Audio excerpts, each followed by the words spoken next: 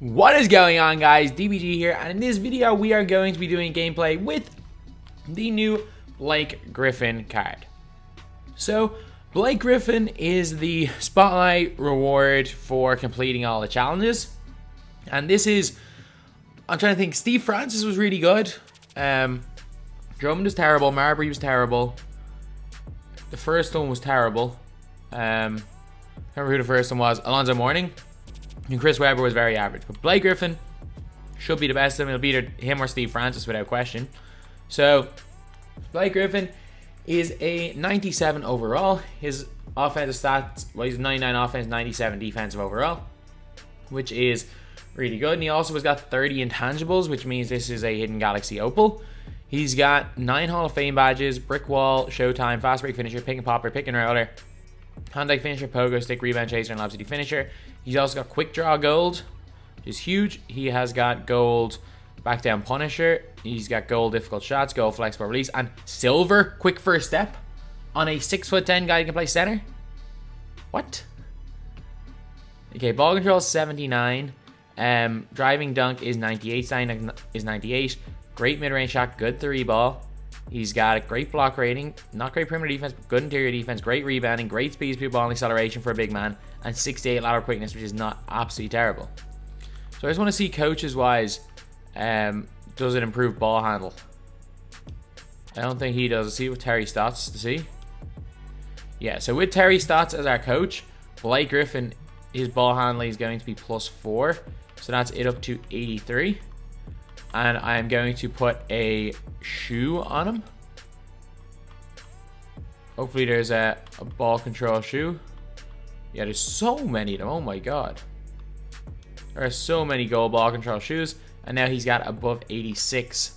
So yeah, the team we're running with is Baron Davis, Geoff Petrie, Paul George. Actually, I'm going to take out Petrie. Uh, we need just more defense. And the only reason I'm not putting in Klay is because, if you guys don't know, Klay Thompson still has the problem where he keeps switching onto the other team center. Um, 3 and D, I'll put in... If he has Bowen, I'll use Bowen. If not, I'll use uh, the guy I was going to use. He has not evoed Bowen, so I'm going to put in Jerry Sloan instead. So in goes Amethyst Jerry Sloan. Great release, great defender, so why not? Paul George to 3, Lewis to 4, Blake to 5 the bench. We've got Harden, Beal, Durant, uh, Hedo, and David Robinson. Magic, uh, Duncan, and LeBron rounding off the bench. So anyway, yeah, this is the team we're running with. Blake Griffin should be an incredible card. Now let's go to the hot zones and release for Blake, then we're going to get on to the game. So Blake has got two hot zones outside the three and hot zones everywhere inside the three. From mid. That's the, that's the nice release Blake Griffin has ever had. Okay, he's still got the cheesy dribble moves of last year. Okay, I might have to do it. I might have to spend, I might have to grind this game out and get these for my own account. Get this card for my own account because it's incredible. Blake is a beast like. Three ball, obviously. Ready to go release. Um, see the fade. Fade's good. Obviously, he's got to go post hook. He's Blake Griffin. He's going to be one of the best dunkers. This is like Blake Griffin. This is, I'm not going to say, well, he's not as good as Opal Blake from last year because that card is ridiculous. He's somewhere between, oh, I'd say he's somewhere between Opal Blake and Pink Diamond Blake from last year. Like, he's got ball handling. He's got glitchy moves. He can be played as like a point center. Man, there is, I'm guessing he's got a decent enough hop step as well. Yep, well, he can hop step. I don't know. Are there some players that can't hop step, or is just they don't have a glitchy hop step animation? Because there's some players that I literally can't hop step with. And obviously, Giannis is just every single time. And you know what's another really great thing about this Blake Griffin card? He's got all the great. He's got all the best shooting badges except range extender, catch and shoot, corner special. He's got difficult shots, got quick draw, got deep fades. And you know what he doesn't have? Steady shooter. So uh, it should be fun. So anyway, now let's just green on three. And now let's get on to the game. Okay, so we are playing against a really tough matchup here um, in Tim Duncan on him. So I'm going to swap him to power forward. And I'm going to start Duncan at center. Yeah. So I don't want to just uh, have to deal with Duncan the entire game. That's going to be really, really difficult. Notch back. Okay. It's good. Down in the post. Fade away. Blake Griffin can't hit it. He's wide open in the corner for two. Green. There we go. All right, start to the game. It was a uh, good shot there by Blake. Let's go. Blake clamping up Kevin Love here. Steal. Blake run through. Keep running. Keep running. Throw out a lob. And Blake with the dunk. Yeah, great pass there by Ryan Davis. Got him. Got into the post. Puts the hook. There's no real pressure on him there, and Blake makes it. There you go. Like, his handling, he's the best ball handling big man in the game. Like, I know there's better ball handling players that are his height. Like Rashard Lewis. Well, yeah, probably Rashard Lewis. Uh, Giannis, obviously. Um, a few others. But, like, in terms of, like, actual big men, especially ones that can play center, I don't even think it's close. And, oh, I thought he actually got that board over Duncan. Let's push it. Blake, stop. No one's there. And he pulls up on the break and makes the shot. That's eight points, two and a half minutes on four of six shooting. Is as good as you can expect from any player. No, that's the dumb. Oh, that's that dumb animation that's either a no call or an offensive foul, and it's always given as a defensive foul. Let's go, Blake. Straight line. Back him down, and that's a really tough shot, but he still makes it. Okay, now I got Mutombo in a power forward, I think. Which is not an easy matchup. But it's better than Duncan, so... Have to take that, I guess. See if I can get him behind the back. We go through two of them. And he picks it up. To the basket, Blake Griffin puts it in. We go. Really, really solid start to this game for him. Yeah, that's grand. Yeah, that's grand. Go Blake. Makes the hook. Let's go.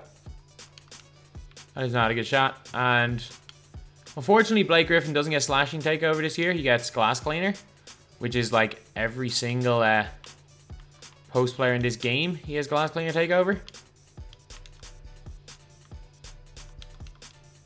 That's another rebound, and they finally put one of them in. Was there four? They got four offensive boards there. Over Tim Duncan of all people as well. I wish he had slasher takeover because last year he was just ridiculous with that takeover.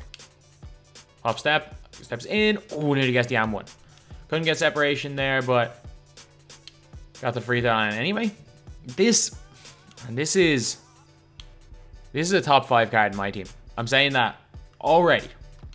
Haven't used them much. This is a top five card in NBA 2K20 MyTEAM.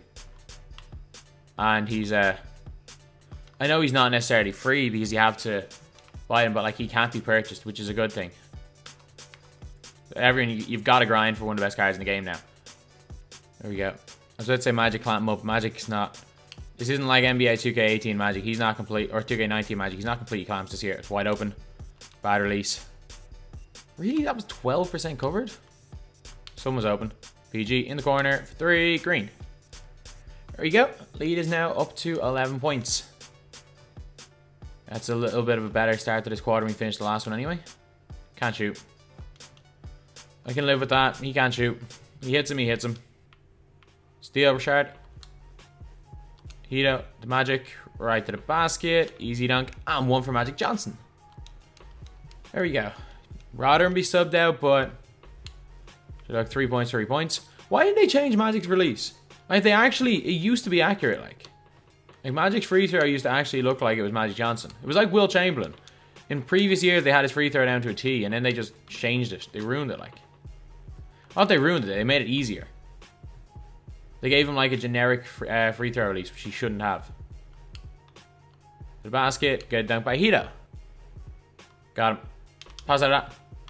I don't know trigger, why that triggered it like that. There we go. Got him. Oh, good block. Um, Harden drop back, drop back. Get there early. Great job, James. Unlucky. James Harden actually played some decent defense right there. Good defense, Hedo. Force him into something difficult, and they blow the layup. There you go, hit Blake. Get him on the back. Back down, back down, back down. We're open. Shoot the fade. And Blake Griffin knocks it down. He's got 18 himself. Blake is killing it. And Blake he got into an alright position. They're not guarding that hook, and Blake Griffin scores it. He is killing Tim Duncan. One of the best defensive big men in the game. Blake Griffin is destroying him on the inside. Okay, pick and roll. Lob cheese is on. Good pass. Oh, Blake! Don't miss that. Hall of Fame lob cheese, and he uh, blows that. Hall of Fame lob city finisher. Good defense, Blake. Go get it. Let's push it. And bump steal.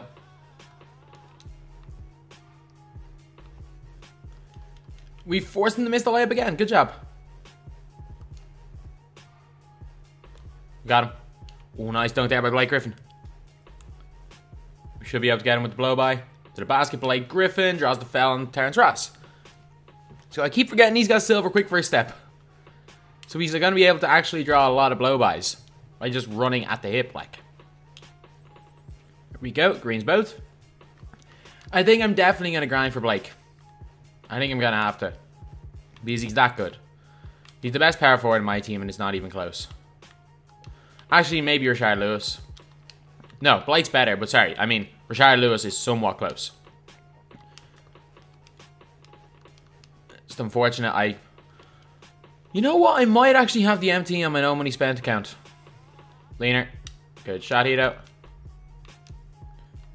That is open. That's green. That's a big shot. Please be a three. There we go. Defense, catch it. Let's go. Attack. Let's attack. Into the corner for three. Good contest. But it goes in from Baron Davis. And they've gone and stripped me again. We came out the board. Just have to put it up. Bad shot. And Duncan comes in with a rebound again. Great shot there by Kevin Durant. We got so lucky that play. And leads up to nine. Kick to the shooter. You cannot leave a shooter. Come on. That's way too easy. That is way, way too easy. Okay. Blake gets him with the behind the back dribble. Goes to the basket. On Tim Duncan. Gets swatted. And we make the layup with Duncan. Who swatted him there? It PG or LeBron? But uh, either way, doesn't really matter. Two points is two points. Actually, just running his hip. Why am I trying to do all these mad dribble moves? Oh, why did he cock it back? He had a wide open dunk and he was there. We went into a dunk animation. He had it. He had it and then didn't. That is fairly frustrating. Right to the basket. There we go. Got it dunk that time. Hey, surely there'll be no help. Because they did help off him and they left Kevin Durant wide open. Come on, you can't help off Blake. I'm telling you guys, Blake Griffin's that much of a mismatch. I think I'm going to have to... I think I'm going to have to spend that 10 or so hours grinding. Because... Telling you guys, Blake's the real deal. He is the real deal. To the basket. Good job. Hopefully I can get him by the end of this weekend anyway. Like only 11 to 20 from the field. That's because I'm taking dumb shots with him. This is a top 3 to 4 card in my team, probably. Without question, it's top 5. Question is, is he better than Paul George? And my, I'd say yes. I'd say yes. Like, he's not like Paul George, who I literally will call the perfect player in my team right now, with no weaknesses. Blake has no range extender, which is like barely a weakness, and thought he was going to dunk it there on Arenas. But other than that, he's such a mismatch. Like he's Giannis with a jump shot. He's a stronger Giannis with a jump shot. I know obviously he doesn't have the... He's not as fast or as glitchy animations, but like... He can still pull off the up steps. He's still got a momentum behind the back dribble. As of right now, because Giannis can be a liability with his jump shot, Blake could be one. Blake could be one. And obviously there's a lot of different a lot of people have a lot of different opinions, but you can definitely make an argument that he's the number one best player in this game. So in the end, Blake Griffin, over 50% from the field, two turnovers, four rebounds, 31 points, one assist, seven of eight from the free throw line. Paul George had 12, uh, Hedo Turkoglu had six. Tim Duncan had four. Hiddy had four. Davis had three. Magic had three. James Harden at 2, Robinson at 2, Lewis at 3, Jerry Sloan didn't score, was plus 7, and Beal didn't score. And I didn't put on LeBron. So anyway, yeah, that is the video. So Blake Griffin is absolutely fantastic. He's unbelievable.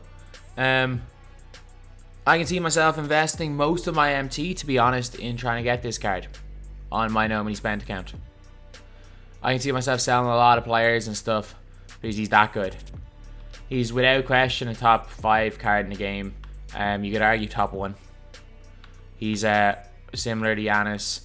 He's Tim Duncan with ball handling. He's unbelievable. Like an unbelievable card. Anyway, that's the video. Thank you guys for watching. Please like, comment, and subscribe.